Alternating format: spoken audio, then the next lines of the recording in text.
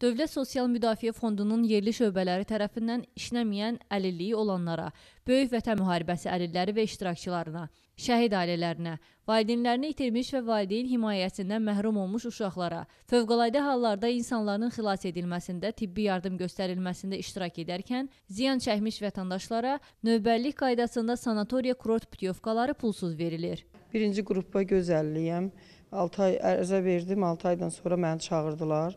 Dedilər, e, naftalana da var. Naftalan mənim e, qan təzyiqim çox olduğuna görə naftalan atqaz oldu. Lənkərana verdilər mənə putyovkanı. Getdim Lənkəranda da çox gözəl oldu. Yaxşı oldu. Yeməkləri sadı çox gözəl idi.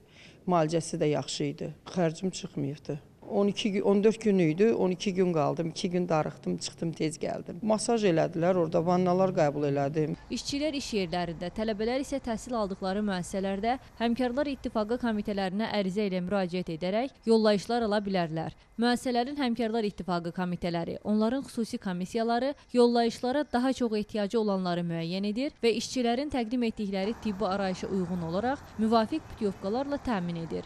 Əmək və Əhalinin Sosial Müdafiəsi Nazirliyinin Nazirliyinin mətbuat xidmətinin rəhbəri Fazil Talıblı Ayribek Əbəs televiziyasına bildirib ki, sanatoriya kurort putyovkaları ancaq Azərbaycan Həmkarlar Təşkilatı Konfederasiyasının tabeliyindəki müəssisələrə, həm də özəl sanator kurort müəssisələrinə verilir. Yollayış almaq üçün lazım olan sənədlər ərizə, şəxsiyyət vəsiqəsinin surəti, işsizlik barədə arayış, əlil və ya şəhid ailəsinin üzvü olduğunu göstərən vəsiqələrin surəti, yaxud imtiyazlı şəxs olduqlarını sübut edən müvafiq sənəd, həkimdən sanator kurort arayışı, şəxsiyyət vəsiqəsinin surətidir. Məcburi dövlət sosial sığorta haqqı ödəyən şəxs əgər ailə üzvü üçün də yollayış əldə etmək istəyirsə, əgər ailə üzvü dövlət sosial sığorta haqqı ödərsə, onda ailə üzvü üçün də yollayışın dəyərinin 15%-ni ödəyir. Əgər işləmirsə, ə, məcburi dövlət sosial sığorta ayırmaları ödəmirsə, yollayışın dəyərinin 50%-ni ödəməklə əldə edirlər. Bundan əlavə deyə bilərəm ki, Həmkarlar İttifaqı təşkilatlarının vətəndaşlara yollayışları tam dəyəri ödənilməklə də vermək hüququ vardır. Cari ilin 8 ayı ərzində Gəncə şəhəri üzrə 85 imtiyazlı şəxs sanatoriya kurort putyovkaları ilə təmin olunub. Ölkə üzrə isə bu göstərici 3253 nəfər olub.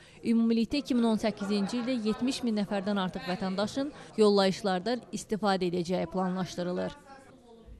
Jalə Qurbanova, Emin Məmmədov, Gəncə.